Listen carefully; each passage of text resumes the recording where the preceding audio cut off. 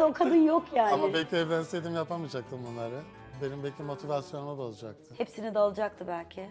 Kim bilir neler olacak. Dünyam belki alt üst olacaktı. Olmazdı. İki kahve arasından herkese merhaba. Bugün programımızı serin bir havada ama karşı koyamadığımız güzellikte bir terasta açıyoruz. Cağaloğlu'nda çok kıymetli bir ustanın çok güzel bir atölyesindeyiz. Şimdi ilk kahvemi içiyorum ve içeride sıcacık bir sohbetle programımıza devam ediyoruz.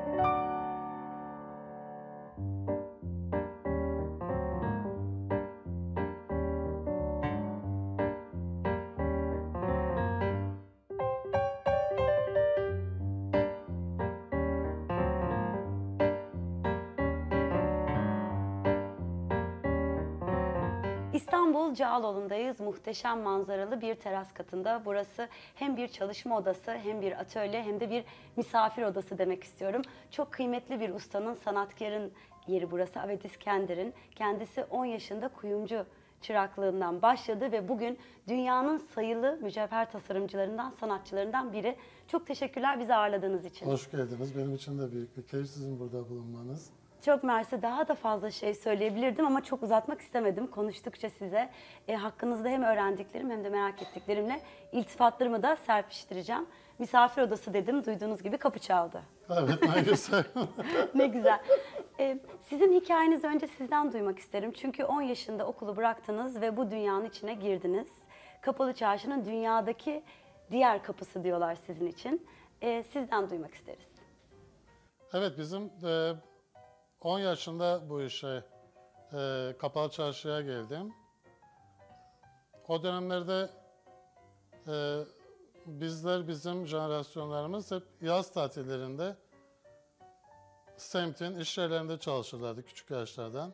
O çalışma alışkanlığıyla birlikte o gittikçe bugünlere kadar geldi. Hala çalışıyoruz bugüne kadar.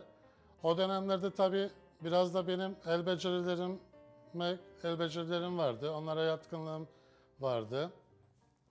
Ustamda bir e, e, ustalarım vardı. Onları seyrederdim, izlerdim. Daha sonra da Kapalı Çarşı'da birçok e, sanat işleri vardı. Onları takip ediyordum. Onların içinde de en renkli, en cıvıltılı, en hoşuma giden mücevher olmuştu. Ne güzel. Daha sonra da o yaşlarda mücevheri seçtim. Ee, o dönemlerde de bir ustanın yanına gitmek e, çok zordu. Ee, ustalar da işe almazdı herkesi. Bugün ustalar çırak bulamıyor, o zamanlar çırak beğenmez. Tabii o zaman çırak beğenmezlerdi.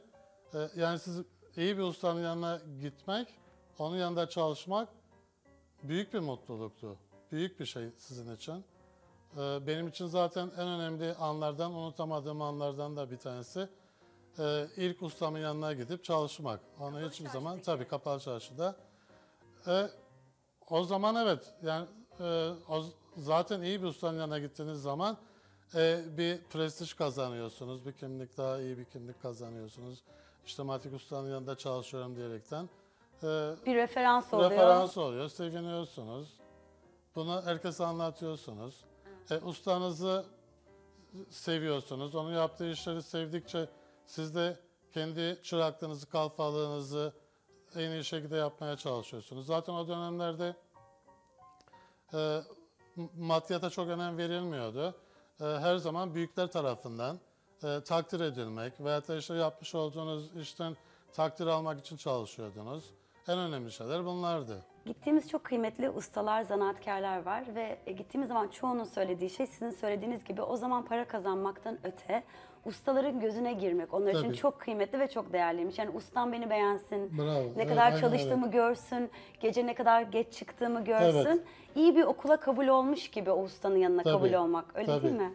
Öyle tabii. Ee, düşünebiliyor musunuz? 10 yaşındasınız, e, ustanızın yanınıza geliyorsunuz. E, o size dükkan anahtarını veriyor. Mesela sabahleyin gidiyorsunuz, dükkanı açıyorsunuz, o dükkanı kapatıyorsunuz, bir büyük bir sorumluluk veriyor. O yaşta mesela, şimdi düşünüyorum. E, bravo bana yani 10 yaşında dükkan anahtarı sen açıyorsun. Bugün siz temizliğini 10 yapıyorsun. yaşında birine anahtar verir misiniz mesela buranın? Zor herhalde. Çocuklar da farklı yani daha çocuk. Çocuklar farklı tabii. Eğer mesela ki e, görsem aklı başında veririm. Veririm diyorsunuz. Peki babanız marangozmuş. O da çok Evet. kıymetli bir zanaatkarmış. Mobilya sana, şeydi, sanatkarıydı o da. Ve bir röportajınızda demişsiniz ki babam da bir iş güzel olsun diye günlerce çok ince çalışırdı. Ve belki de bu e, becerimi genetik olarak babamdan almış olabilirim. Olabilir. Çünkü o da işinde çok titizdi, çok iyi işler yapıyordu. Ee, mobilyayla birlikte e, adalarda hep e, eski köşkler yapardı, çalışırdı. Böyle ince ince uğraşırdı onlarla. Ben de onları çok iyi gözlemlerdim, bakardım onlara. Hepsine büyük bir merakla bakardım. Ee, çok hoşuma giderdi. Ondan sonra kendi oyuncaklarımı da kendim yapıyordum. Ay ne güzel. Öyle mi? Tabii, onun dükkanında. Böyle gitmiştik e, bir ustaya yine o da derdi ki bize çürümüş kuru meyvelerden kendime maketler yapa yapa yapa o da aynı E, Tabii canım şekilde. oyuncaklarımızı yapardık. Peki mesela şu anda babam köşklerdeki işte dekorasyonu diyelim ya da e, bir takım renovasyonu yapıyordu. Tabii. Fakat şu anda köşkler, köşkte yaşantılar bunların hepsi azaldı ve bu nedenle bunların ustalarına da çok fazla talep yok. Tabii. Siz de bir röportajınızda demişsiniz ki saraylar kapanınca saray mücevheratı da bitti. Yani saray Evet, mücevherciliği. Saray mücevherciliği bilmeyene farkı nedir mücevherden? Saray mücevherleri o dönemde zaten bu kapalı çarşı tamamen saraya bağlı bir yer. Bütün ihtiyaçlarını kapalı Haremdeki- çarşıdan alıyorlar. Haremdekilere güzellikle. Tabii işte Topkapı Sarayı burada. E, burası da dünyanın en büyük kapalı çarşısı. E, bütün ihtiyaçlar, sarayın bütün ihtiyaçları kapalı çarşıdan karşılanıyor. Mücevheri, gümüşü, kumaşı, her şeyle, bakırcılığıyla. Yani tamamen kapalı çarşı sarayı besliyor. Onun için sarayla bir bütün. Bir bütün arka bahçesindeki Tabii, bir tabii, küçük tabii, atölye tabii, gibi. Tabii.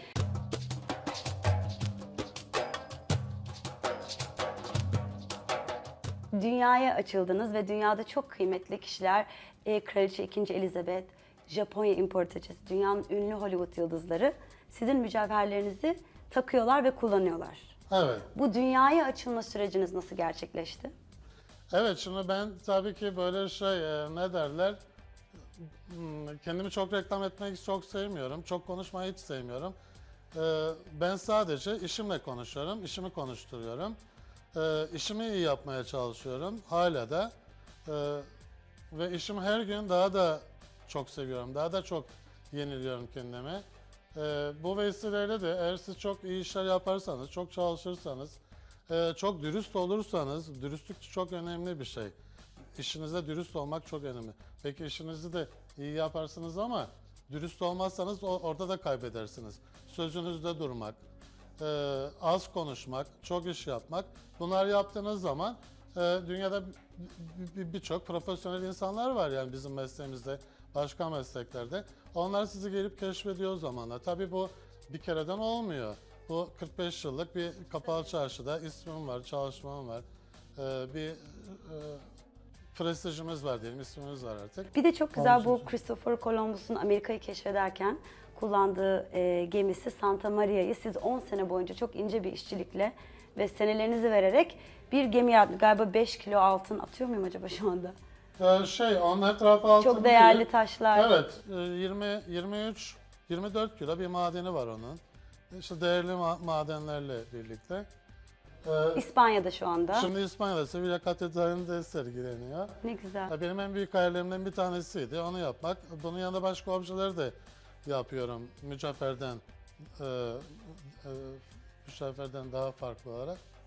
E, o gemiyi yaptım. E, çünkü küçükken de işte hep böyle e, macera kitapları okurduk. E, ortada işte Kristof Kolomb'un işte keşfi, dünyaya işte köprüler kurması. Onlar büyük bir merakla okurduk. İşte deniz Hep gemi Santa falan Maria severdik. aklınızda vardı yani o Başka zaman. gemiler de yaptım sadece Öyle o mi? değil. Türkiye'de Karadeniz gemileri falan da yapmıştım. Ee, dedim ki o zaman bir tane şey Santa Maria yapayım bir tane. Onu da şöyle bir sergi açayım yurt dışında. Ee, hayalimdeki işte şey e, Christoph Kolomb'un e, kabrinde işte ondan sonra şeyde ne derler ona? Naaşı. Ha naaşı. Okey tamam. Ha, orada mezarı var büyük işte. E, onun oradan sergilenmesi benim için çok büyük bir şey. Bu Sevilla e, Katedrali'nin orada e, Arşivo de General diye bir saray var. Bütün Kristof Kolomb'un e, arşivleri orada. Batı Hint Adaları Okyanusu'na ait bütün arşivler orada. Orada da bir girişi var. E, Kristof Kolomb'a ait olan bir koridor var. Oraya koydular. Evet orada e, sergileniyor. E, oraya günde binlerce e, turist ziyareti var. var. E, ve onu bütün dünyada oraya gelen ziyarete gelen herkes görüyor. Benim için çok büyük bir Hayranlık mutluluk. uyandırıyordur eminim ki. Tabii. Fotoğraflarını gördüm tabii sadece. Evet. E, peki bir, birkaç ay sonra İstanbul'a evet biz gelecek. onu ben 6 ay, misafir odamda tutacağım. tabii. 6 ay e, anlaşma yapmıştık. Daha sonra çok beğendiler. Bir 4 ay daha izin istediler. İşte 4 ay daha duruyor. Sonra Siz gidip gidip mi teslim geleceğim. alıyorsunuz, yolluyorlar mı? Yok ben gidip ke- kendim teslim alacağım. Çünkü başına bir şey gelmemesi için.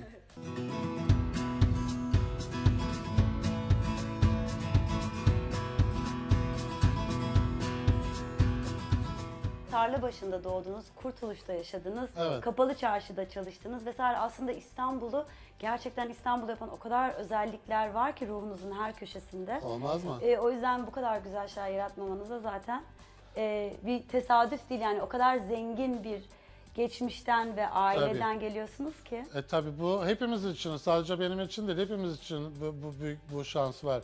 Mesela ne bileyim o, o kadar güzel dünyanın o kadar bir, güzel bir coğrafyasında yaşıyoruz ki orada dört mevsim yaşıyoruz, bütün kültürleri yaşıyoruz, e, bütün mimarisini yaşıyoruz, görüyoruz. Her şeyimiz çok güzel. Yani bu bizim ülkemizde yaşayıp da üretmemek, bir şey yapmamak, Orada bir anormallik oluyor değil mi? Anormallik tabii. Orada. o kadar güzel bir ülkemiz var ki, o kadar güzel bir halkız ki, o kadar kardeşiz, o kadar can ciğeriz. E bunun yanına da güzel şeyler çıkması lazım. E, şimdi ben mesela Japonya'da, Hong Kong'da da olsaydım, ben belki bu işi yapamayacaktım ki. Böyle bir bu işi yapacak ruhum olmayacaktı. Yani öyle bir şey ki burada bu toprakta doğmuşuz. Bu toprağın işte böyle bir bir şeyi ne? Bir bir insanı çıkmış böyle. Çok da güzel çıkmış, çok da güzel şeyler üretiyorsunuz. Bir kere bütün İstanbul'u temsil eden inanılmaz güzel eski İstanbul manzaranız var. Ee, iş arkadaşlarınız, arkadaşlarınız diyeyim artık. Tabii Ee, hepimiz belli ki bir aile aynı gibiyiz. ruhu, evet aile gibi Hepimiz. ruhu taşıyorsunuz. Etrafta inanılmaz antikalar var. Yani şu masanın üzerindeki her şey antika. Duvarda müthiş tablolar var. İnanılmaz zevk sahibi oldunuz. Zaten yaptığınız şeylerden çok yarattığınız kendi dünyanızda da var. Ara Güler'inle fotoğraflarınız. Ha, çok sevdiğim bir arkadaşım Belli galiba en iyi arkadaşınız. Ustam da benim evet. Öyle çok mi? sever beni. Buraya gelir sürekli tavla Evet ediyoruz. görüyorum her fotoğrafta neredeyse var. Sizi çektiği Tabii tablo canım müthiş. aşkım o benim. Ay, o zaman Ee, buradan da saygılarımızı her iletelim Ara zaman. Güler'e. Ustam benim o bir tanem. Gerçekten. Ee, Şimdi bunların şeyi, bunlar böyle ben bilerek yaptığım bir şey değil. Bunlar tabii hepsi kendi ruhumu yansıtıyor. Kendi kendine oluşuyor. Ben bunların farkında değilim ya. Ben bunlar gidip de bir yerden satın alıp da bunu buraya süs olsun diye koymadım. Ee, o beni temsil ediyor. Ben onu temsil ediyorum. Ee, mesela plastik hiç sevmiyorum plastik bir şey. Mesela e, masamda veyahut da çalıştığım yerde plastik hiç bulamazsınız. Aletlerinizi muhafaza ettiğiniz... E onların ama hepsini ben yapıyorum onlar. Bunlar paralel olmuyor. Bunların Aa, hepsini bunları siz yapıyorsunuz. e tabii ben yapıyorum Ben çünkü sizin koleksiyonunuz sandım onu. ha yok bu mesela bunların hepsini ben yapıyorum. Şunun güzelliği. Tamamen. E tabii bak onu bak göster çok güzel. Şimdi bunu oturup ben yapıyorum öyle. Bunun- Bak bunları bunu mesela gidip alsanız bunlar şey plastikten. Evet. E onlar hepsi çirkin. Onu, ama o beni o beni bozar mesela bu da bir plastik olduğu zaman beni bozuyor. Onun için hepsi metal olması lazım. E bu masa penseleri koyduğumda mesela bak bu da benim böyle yaptığım bir iş. E bunlar bana keyif veriyor. Mesela şimdi bu böyle plastik olsa işte kötü bir şey olsa kırık kırık bu beni buradan bozuyor. Benim her şeyim şey olması lazım ve bütün manyetik alanımdaki her şeyin düzgün olması Yani lazım. oraya Hiçbir şeyin gözüme ahşap batmaması kutu lazım. bile Onun görselliğini E mesela- tabii öyle, öyle olması gerekiyor. Benim için öyle olması gerekiyor.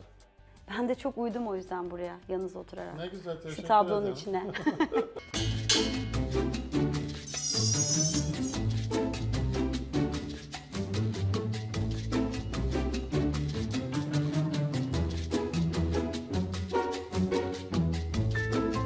Eski bir Alaturka e, bir küpe. Menekşe, menekşe biliyorsunuz Osmanlı'da Alaturka'da çok kullanılıyor. Altı bakın zümrüt, damla zümrüt de kullanılıyor.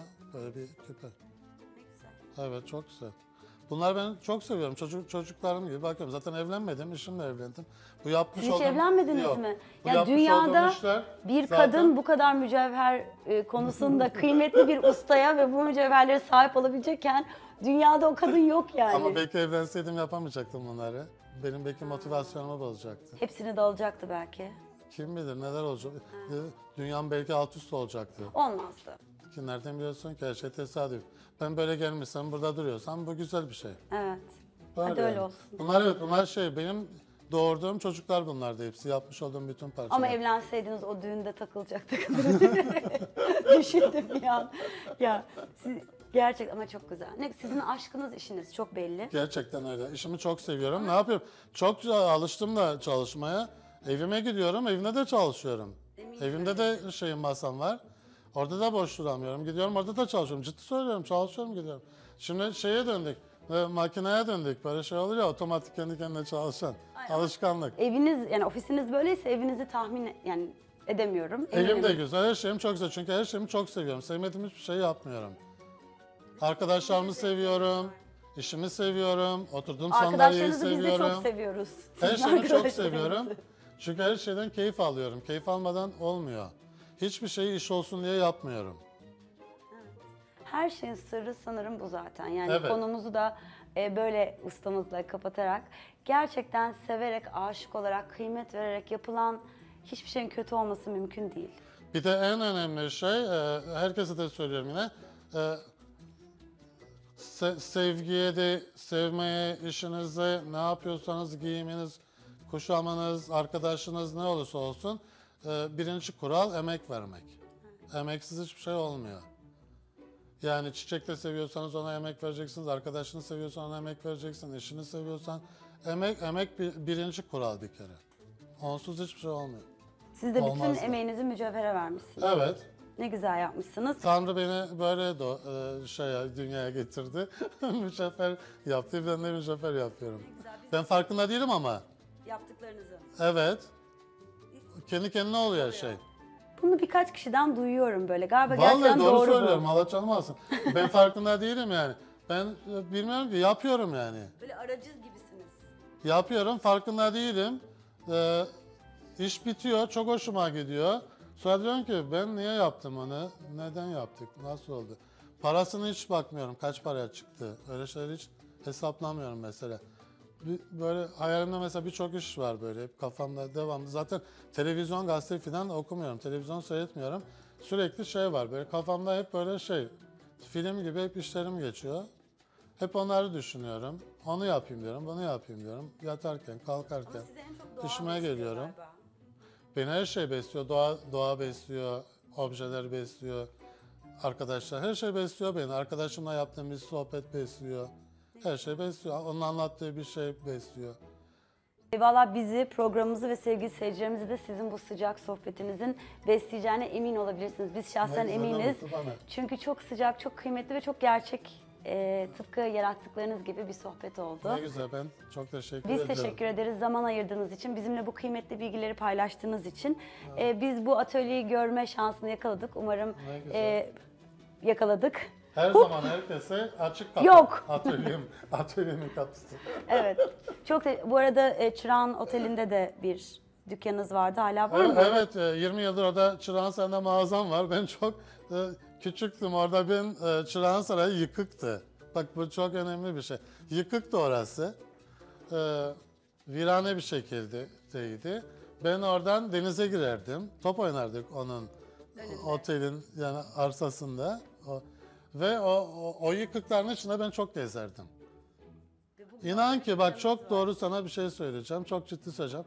Orada bazen bırakırdım topu mopu. O harabelerin içine gezerdim.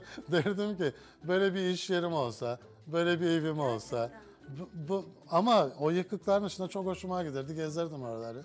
Sonra gün geldi. Vesile oldu. Çırağan Sarayı'nda dükkan açmayı hedefledim. Sonra ben bunu gittim müdürle paylaştım orada. Biliyor musunuz dedim böyle böyle çocuktum. Ben burada hep gezerdim, top oynardım, denize girerdim. Ve hep hayal ederdim ki böyle bir evim olsa, böyle bir dükkanım olsa. Ve dedim bugün sizin karşınıza geldim dedim. Gerçekten de öyle oldu biliyor musunuz? Ve sonra gittim o gezdiğim hurdalık yer vardı işte harabe. Orası mutfak vardı. Oranın mutfağını ben sonra mağazamı yaptım. Çok güzeldi o dükkan sarayın içinde. Mutfak da orası. Mutfağı ben aldım mağaza yaptım ama muhteşem bir dükkan oldu. Dünyanın her yerinden insanlar geliyordu. Hepsi benim işlere bakmıyorlardı. Dükkana bakıyorlardı. Orada satıcılar da mesela bana kızıyorlardı ki senin için mi onu bu kadar güzelleştirdin?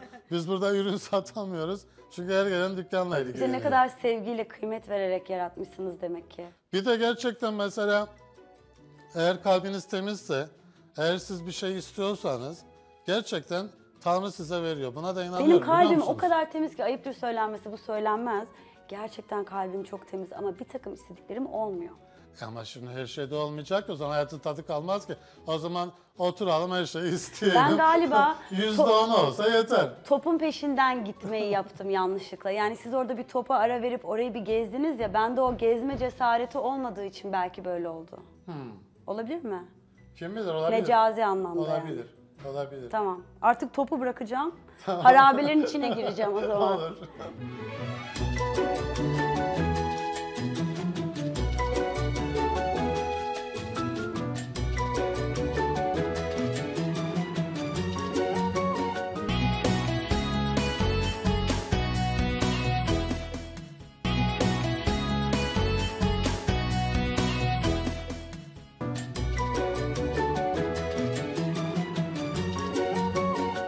Avedis Usta'nın gerçekten her yanına ruhunun estetik anlayışı ve güzelliğini sinmiş çalışma odasında ve atölyesinde programımızı sonlandırıyoruz.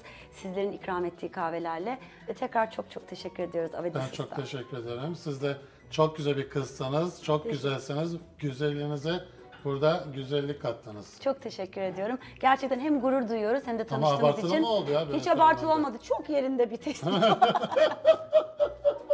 Sizi ve ekibinizi, hepinizi çok sevdim. Gerçekten. olun. Çok şeker, çok tatlı insanlarsınız. Çok teşekkür Her zaman bekliyorum. Geleceğiz. Çok mersi diyoruz ve ekran başındaki sevgili seyircilerimize de iyi bir hafta diliyoruz. Haftaya yine çok İstanbul'un kıymetli ve güzel noktalarında buluşana dek hoşçakalın diyorum kahvemi içiyorum. Afiyet olsun. Sağ olun.